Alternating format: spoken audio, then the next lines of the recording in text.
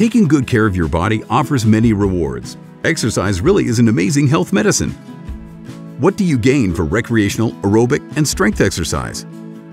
Daily recreational exercise has a positive effect on the risk of premature death in patients with coronary disease and diabetes, has a positive effect on the risk of coronary disease, dementia, and depression, decreases the risk of diabetes, has a positive effect on the risk factors for chronic diseases, specifically blood pressure and LDL cholesterol for coronary diseases, weight and insulin sensitivity for diabetes, and cognitive deterioration for dementia, Alzheimer's, and depressive symptoms.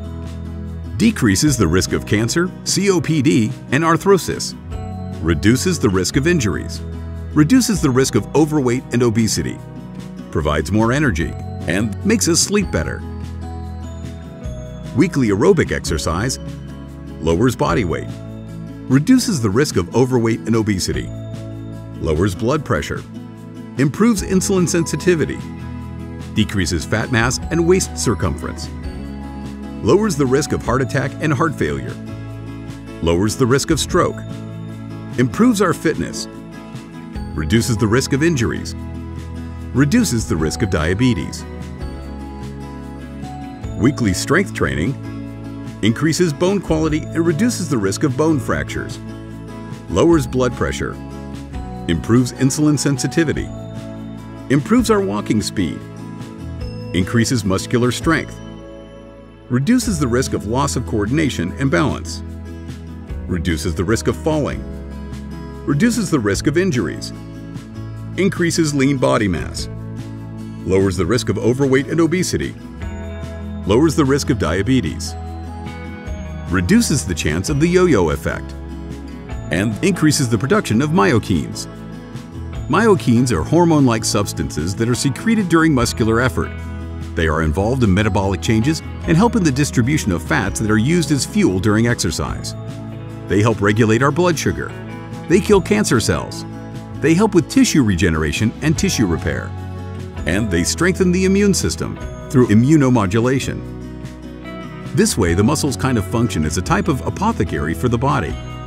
The combination of daily recreational activities and weekly aerobic and muscle strengthening exercise is also medicine for our brain. It stimulates the production and maintenance of white brain matter, which develops during the first 30 years of our lives and degenerates from then on. This white brain matter is responsible for the communication between the brain and our body, and therefore crucial for proper performance. Its deterioration could be slowed down by an increased blood circulation that is realized by, you guessed it, recreational, aerobic, and muscle strengthening exercise. The combination of recreational exercise at least once during every part of the day and weekly aerobic and muscle strengthening exercise is also medicine for our heart.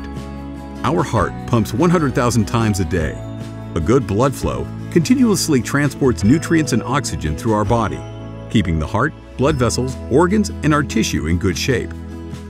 A blood flow that is accelerated through physical activity, exercise, and strength training will increase your heart rate and facilitate the production of nitric oxide in our blood vessels. Nitric oxide dilates blood vessels, lowers the risk of vascular constriction, results in less blood clotting, less cholesterol plaque, less adhesion to the blood vessel walls, and less inflammatory cells. In the next chapter, we'll look at the most effective ways to stay active